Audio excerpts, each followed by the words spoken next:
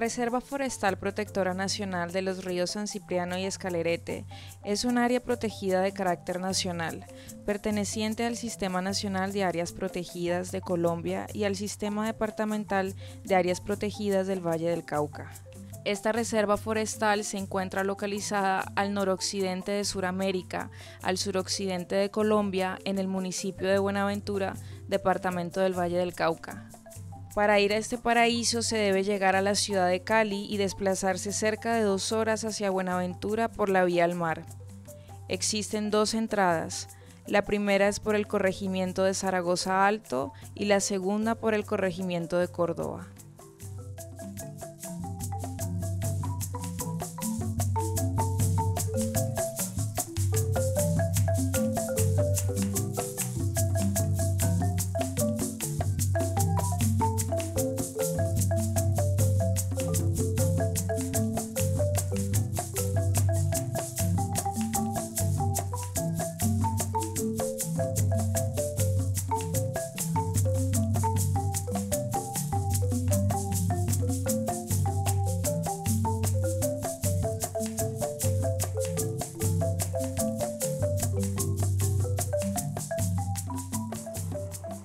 Posteriormente empieza la aventura porque para llegar a la reserva el único medio de transporte actual es la moto brujita, una adaptación muy original realizada por la comunidad de esta zona paradisiaca a partir de la brujita antigua.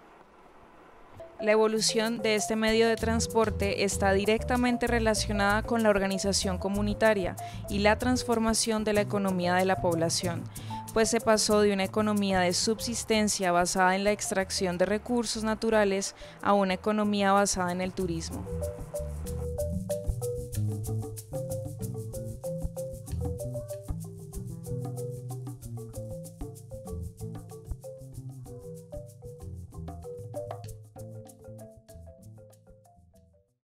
Vamos con un proceso y arrancamos como motobruja, el cual era un planchoncito y que lo llevamos con unos remos, unas palancas. Mirando que el proceso era demasiado difícil porque eso con cuatro personas uno se encalambraba, llegaba a punto donde era pálida porque con cuatro, o cinco viajes ya uno no le quedaban fuerzas.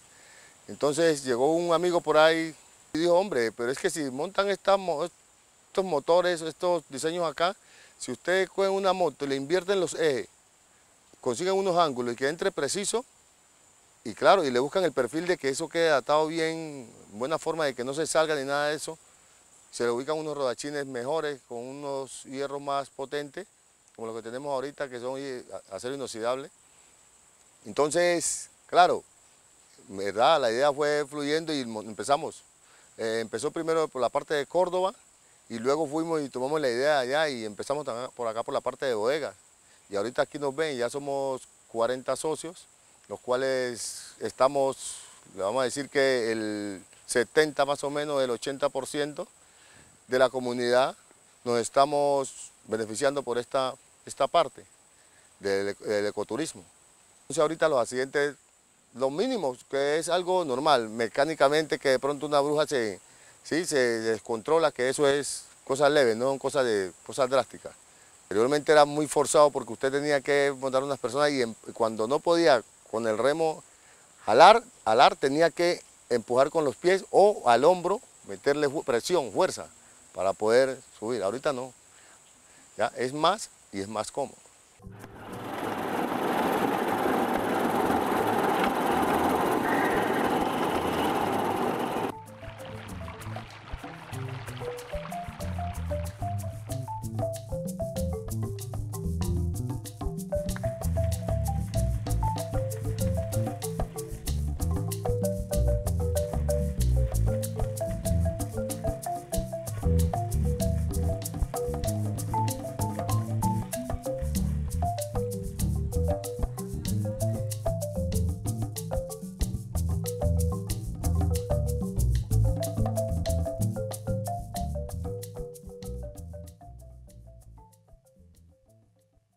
Además de conocer la majestuosidad de esta reserva, los servicios ecosistémicos que ofrece, los atractivos científicos y turísticos, es importante conocer cuál fue el impacto que produjo en la comunidad la declaratoria de área protegida y la forma en que la población asumió el reto de cambiar la base de su economía. El proceso inicia a partir de la declaratoria como zona de reserva. O sea, se declara como zona de reserva en el año 79, 1979. Y en ese, en ese momento, pues la comunidad desconocía el término reserva o reserva forestal. Y pues en ese momento no se tuvo como en cuenta la comunidad, no hubo un proceso de, de, de conexión institucional, comunidad, frente a qué era la reserva, para qué y qué beneficios tendría tanto para la comunidad como para la población. Simplemente se dijo que se venía a tomar el agua para el municipio de Buenaventura y que era un agua pues pura, cristalina, no necesitaba de nada, sino que estaba apta para el pueblo. Entonces se, tomó así y arranca lo de declaratoria de zona de reserva. Y ya, y montan el acueducto y empieza a funcionar. Pero el término, en el término de la comunidad no hay ninguna alternativa, no hay ninguna opción, simplemente las prohibiciones porque era zona de reserva. Esto tiene un proceso de más aproximadamente de 10 años de, caos, de caos porque la gente no tenía que hacer, no sabía qué hacer en medio de todo esto, pero las instituciones pues sí haciendo cumplir eh, que se debe conservar, que se debe proteger y estamos hablando de un promedio de 10 años. Eh, fue muy duro como ese, ese momento, eso fue muy difícil tanto para la comunidad como las instituciones que tenían que hacer cumplir eh, el término de reserva forestal. Las instituciones en esos 10 años entran, pero también se, se retiran por la situación, ¿sí? que no había ni respuesta para la comunidad, no había como esto y estaba como la discordia.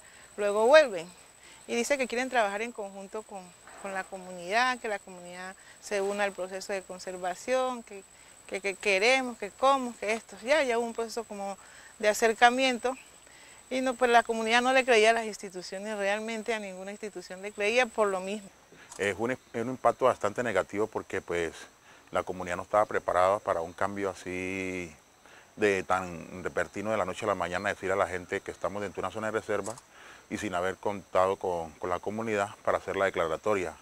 Eso fue un impacto bastante negativo porque inmediatamente la gente comenzó a, mirar las cosas desde otro punto de vista, a pesar de que no éramos, nuestros padres no eran corteros de madera eh, por excelencia, ni tampoco mineros, pero esa era una de, las, de esas dos actividades, era una de las dos actividades que más se realizaban aquí en la zona y al declararse como zona de reserva forestal protectora, ya esas cosas hay que irlas como acabando, eso ya hay que ir pensando como en otras alternativas y por eso se produjo un impacto bastante negativo aquí en la comunidad. La comunidad vivía de la minería, minería artesanal, eh, eh, la agricultura y un poco sector de lo que era la corta de madera. Pero básicamente era la minería y la agricultura, se, producía mucho en esa parte. La gente existía dentro de esas labores una unión en la comunidad impresionante que era el, el intercambio. Es decir, no existía el, el, el fornal, se trabajaba, ejemplo, había un grupo de mujeres y muy comprometida con lo que era la agricultura. Y no se existía el, famoso jornal, eso era un, un intercambio y luego de sector en sector se iban organizando las diferentes parcelas, es decir, una semana donde una persona, la otra semana donde otra o así sucesivamente. Y la gente que empezó, que cultivaba, unos ya murieron, que en esa parte sí ha afectado mucho y sí se produce porque antes aquí de la parte alta del río San Cipriano se traía mucho plátano para vender a la comunidad, banano. Eso, eso había una abundancia impresionante. Si, yo voy, yo voy eh, y hago siempre un cultivo de yuca. Aquí la nativas son, a los seis meses te va a, dar, te, va a salir vos con esa carga. Yo me demoro teniendo el dinero un mes construyendo una cabaña. y antes de terminarla ya empieza, aquí ya empieza a dar plata. A ver, eh, una de las grandes cosas que a nosotros nos impactó más fue porque comenzaron a traernos trabajadoras sociales de otras partes con otras costumbres y otras y otra forma de, de, hablar, de dialecto para la comunidad. Eso es un impacto bastante negativo hasta que nosotros miramos de que debíamos de acogernos a lo que eran las propuestas, las cosas anteriormente en ese tiempo nos traían las cosas nosotros sin que sin nosotros pedirnos, no las que las traían la que nos vino a, poner los pies sobre la tierra y a decirnos que, que estábamos en una zona de reserva para que aceptáramos eso fue una trabajadora social, Leila Andrea, que fue la persona que de aquí a la comunidad hizo el, trabajo social y nos convenció para que nosotros quedáramos convencidos de que sí estábamos dentro de una zona de reserva y que la calidad de vida a partir de ese momento comenzaría a cambiar. Yo creo que en todo esto, y como hay un dicho que dice que no hay mal que por bien no venga, nosotros pensamos que allí se nos acababa la vida, que no íbamos a tener otra alternativa de, vida, pero luego aparece la parte turística, empiezan a llegar visitantes a la comunidad que se hospedaban en las casas y poco a poco se fue fomentando, allí la, comunidad ya fue pensando en hacer sus habitaciones para poder hospedar un, poco más cómodo a los visitantes y ya los restaurantes se vendían las, se venden las comidas y pues ahora ya gracias a Dios que lo vemos como una bendición, ya esto se ha vuelto pues un fuerte turístico en la comunidad y que ya toda la comunidad vive, se puede decir, del turismo. Nos dimos a la tarea como comunidad. Iniciamos con dos comités veredales, uno en la comunidad de Oega y otro acá en la comunidad de San Cipriano. Y hacíamos reuniones mensuales cómo iba el comité allá, cómo iba el, comité allá acá. Eh, en ese momento había muchos, había corteros en la zona, había corteros en la zona, eh, corteros que de pronto algunos los habían traído los mismos nativos para ver cómo trabajaban. Entonces logró convencer a algunos corteros nativos que había que conservar la reserva y que se convirtieran en guardabosque. Entonces fue un proceso, ¿sí? La gente acogió la idea, la propuesta y empezamos con un proceso de formación a esta gente, a las comunidades, a los, a los jóvenes, a todo el mundo. Eso fue un proceso como de cuatro años, de un sinnúmero de reuniones y, integración entre comunidades para poder lograr eh, la Fundación San Cipriano. Primero empezamos a trabajar como con comité veredal y después en, en 1997 nos constituimos como Fundación San Cipriano, que eso ha sido un alivio para la comunidad y a, través de la, Fundación San Cipriano, la Junta de Acción Comunal y el Consejo Comunitario, eso ha sido un alivio totalmente para la comunidad. La, Fundación San Cipriano, eh, con todo su giro y venir, se ha empoderado de lo que es esta zona de reserva, de lo que es las costumbres de la gente, eh, la humanidad de la gente. O sea, la Fundación San Cipriano ha sido el pilar para que este barco salga adelante, porque sin el apoyo de la Fundación Dipiano y las organizaciones de base, no habíamos podido sacar esta organización ni esta comunidad adelante. Eh, pero sí se trazó una estrategia muy clara y era generar mayor participación de las comunidades en en todo el proceso. Porque es, que esto aquí cuando, cuando se inició, en el proceso de planificación, inicialmente todas las decisiones las tomaban las instituciones eran las instituciones las que planificaban, las que decidían, las que decidían qué era lo que se iba a hacer y los proyectos o las acciones que se iban a hacer se las traían de una a las comunidades. Eso, como había un escepticismo, las comunidades poco lo recibían y poco le ponían cuidado a eso. Entonces, eh, de, allí se generó un proceso, digamos, de, de conversar, de hacer partícipe en cada una de las acciones que se iban a hacer.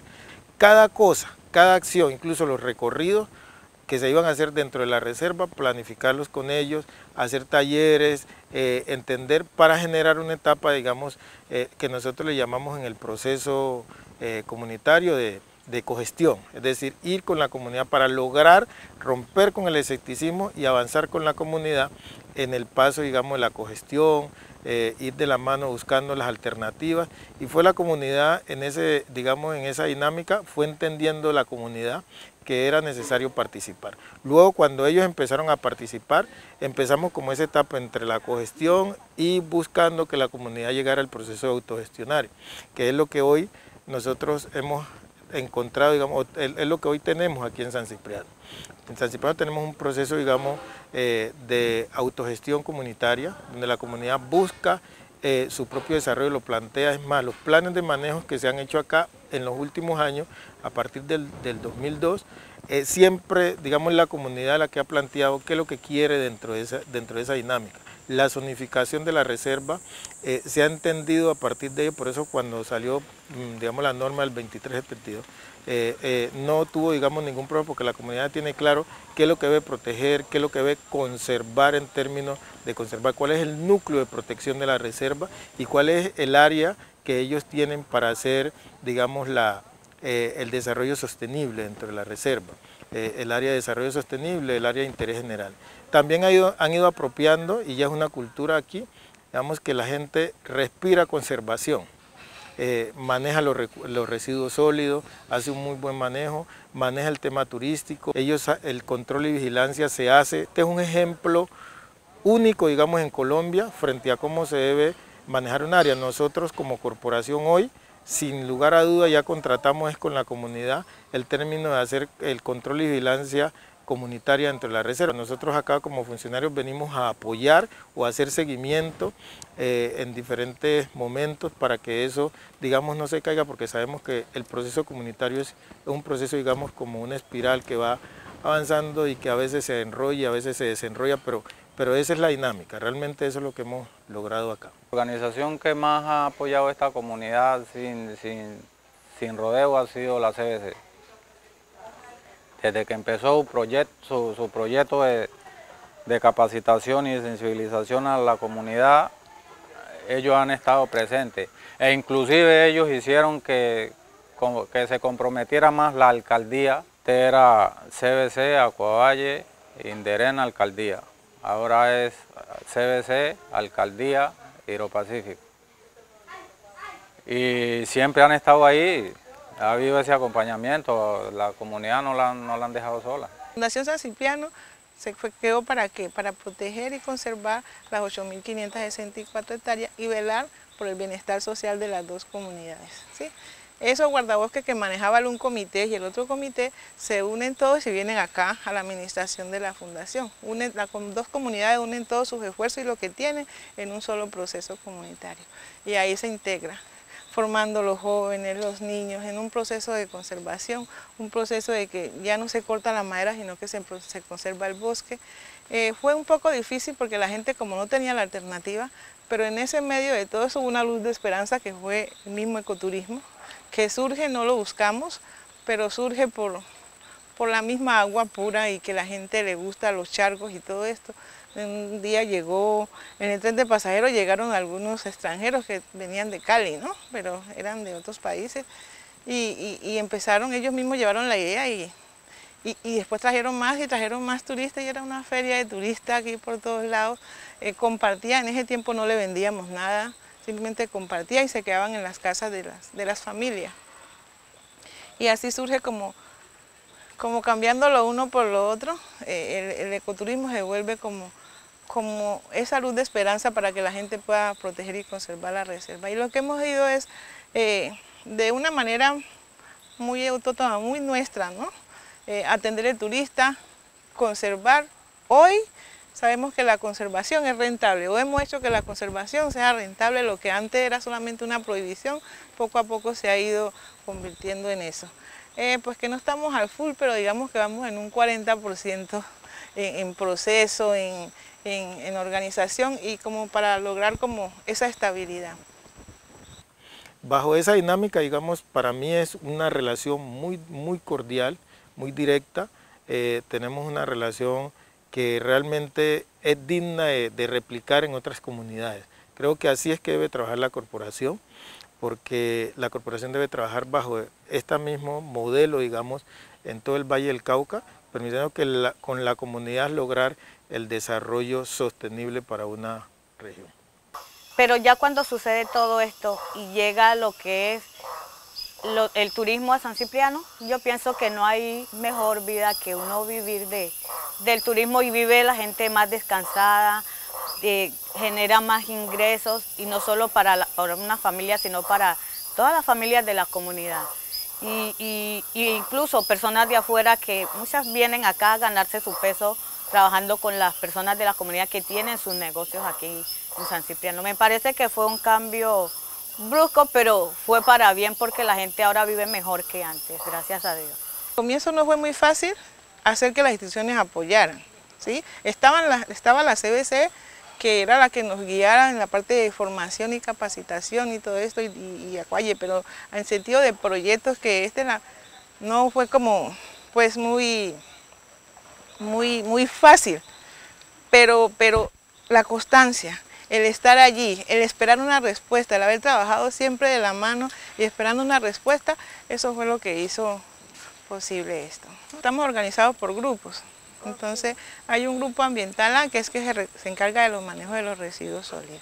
Eh, una compañera nuestra coordina esa parte y entonces recoge eh, los residuos sólidos, lo orgánico y lo inorgánico. Lo orgánico lo convertimos en abono para las parcelas agroforestales y lo inorgánico sale a Córdoba. Eh, se hizo un acuerdo con las familias que tienen los negocios y todo, que ellos no tienen que pagar, pero sí tienen que clasificar lo orgánico aparte y lo inorgánico aparte para podérselo sacar. Y eso es, y con el recurso del bono ecológico, del rubro de la parte ambiental, se le paga a las personas que hacen las diferentes actividades. Bueno, este bono ecológico surge eh, cuando inicia a entrar el turismo aquí, entonces dejaba mucha basura, demasiada basura, o sea, ellos lo traían todo. ¿sí? Entonces como había mucha basura y entonces alguien de la comunidad, una mayor hoy, dijo, no, pues que nos, que nos contribuyan con algo, que nos contribuyan con algo para nosotros poder, porque tenía, después del, fin de semana tenía que la gente salir a recoger todo y se reglamenta. Entre la reglamentación surge con presencia de las instituciones, presencia de la CBC, reunión de la asamblea, la comunidad en general, y dice vamos a pedir una contribución al turista para mantenimiento de la reserva y esa contribución se divide en rubros, son nueve rubros la administración se paga a las muchachas que cobran el bono allí, en algunos arreglos que tengan que ver con la oficina, con todo esto, para la gestión, para las pólizas, para todos los gastos administrativos, es esa parte. Está el rubro de salud, que nosotros, nosotros manejamos un convenio con una droguería aquí en Buenaventura. El otro rubro es el rubro ambiental, que también es el 15%. Con ese 15% manejamos todo lo que es la recolección, los guías que trabajan en control playa en los diferentes puntos. Arreglos de sendero también está en esa, en esa parte.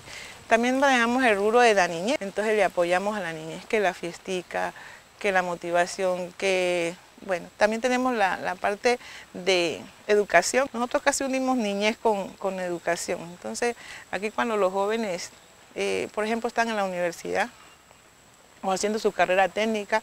Entonces cada semestre ellos pasan una carta solicitando el apoyo para transporte, para cualquier cosa, para que se apoyen en, esa parte de la educación. O sea, la gente tiene derecho a eso en el tema. O si el colegio que requiere algo, o pide la solicitud, o para la escuela, cualquier cosa que tenga que ver con la educación.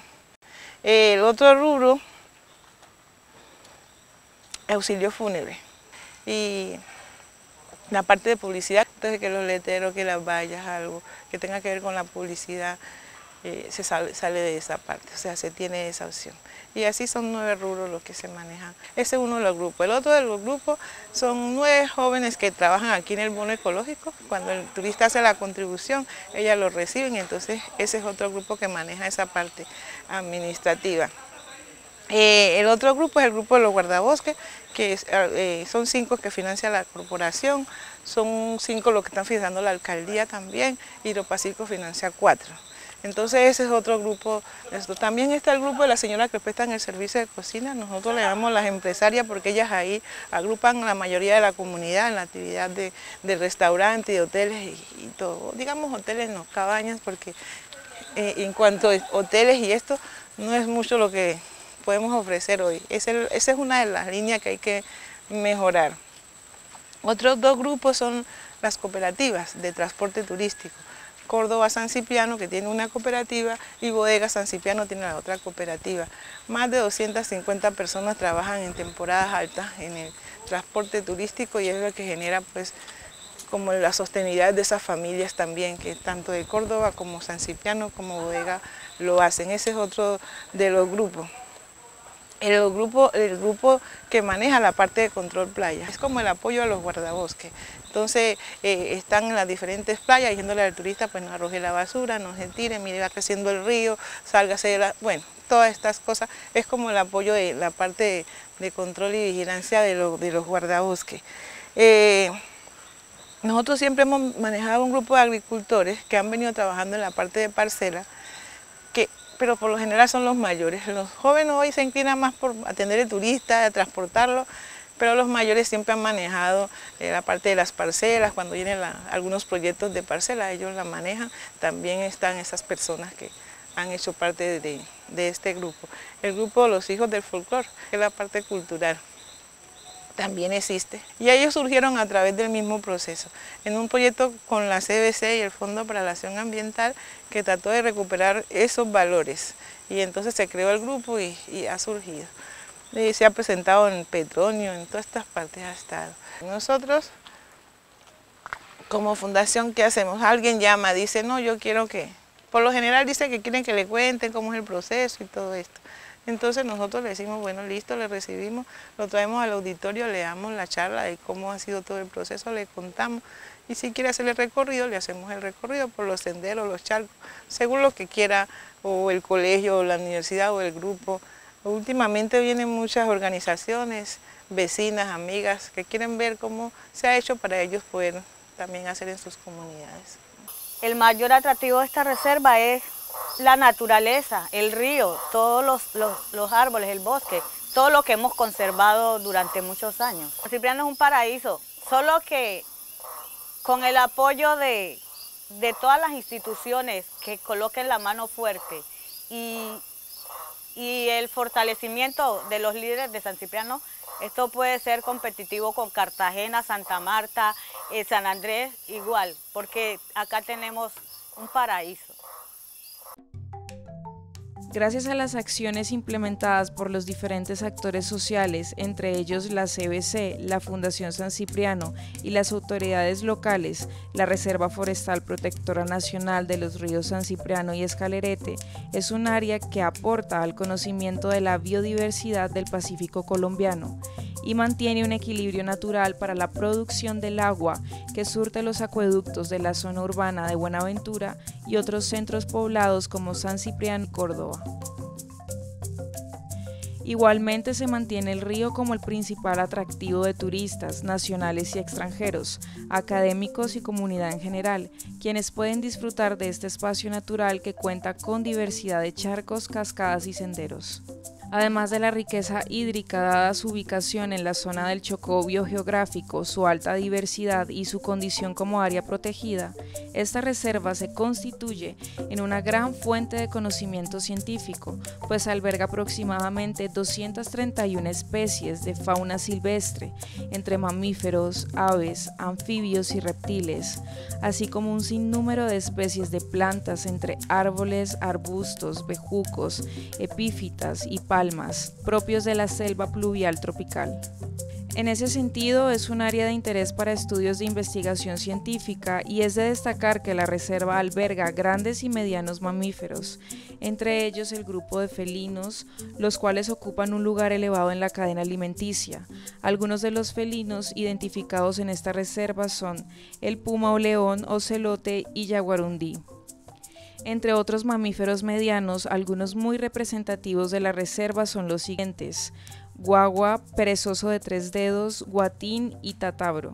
Igualmente se pueden observar multitud de especies de aves, entre ellas tucanes, tángaras, loros y pavones. De la misma forma se pueden observar reptiles como la tortuga cabeza de cinta y serpientes, entre las cuales se destacan la coral, falsa coral, X, verrugosa, rabo de ají y bejuquilla. En San Cipriano, además de disfrutar del río y la naturaleza, se puede gozar de la alimentación típica y de un agradable descanso en las cabañas atendidas por la comunidad nativa del área. Entre las comidas más tradicionales de la zona se debe mencionar el sancocho de pescado, sudado de pescado y encocado de muchilla. Igualmente importantes son los dulces y bebidas típicas. Aquí vendo los dulces típicos de, con productos nuestros de la región. Eh, vendo cocada, la cocada tradicional, la que no lleva piña, la que no lleva zanahoria, como la preparaban las abuelas, solo coco y panela. Es la bebida que se le da a las mujeres después de que dan a luz, que dicen que quedan con frío. Ese es el arrechón. El arrechón hay unas personas que lo hacen de maní, hay otras que lo hacen de brojó, pero ese es hecho de clavo, canela, cola granulada, memoscada, miel de abeja. Esta es la crema de biche, el aguardiente de la caña a base de leches. ¿Y el de acá? Y ese es el sabajón de papa china, el ingrediente principal, el aguardiente de la caña, la papa china, que es aquella mata.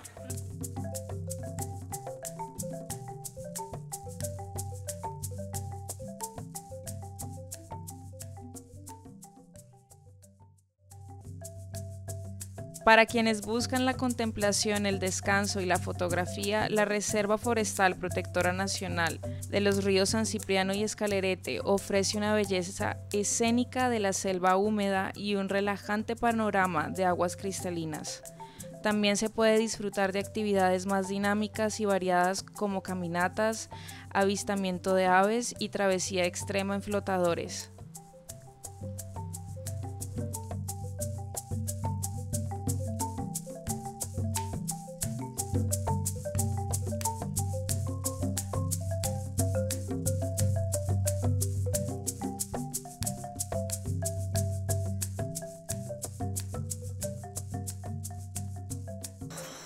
Esta rabadilla que no me, que la tengo tiesa como un manteca de iguana, le voy a, pa' que se menee, allá está, pa' que se menee, allá está, pa' que se menee, allá está. ¡Pues!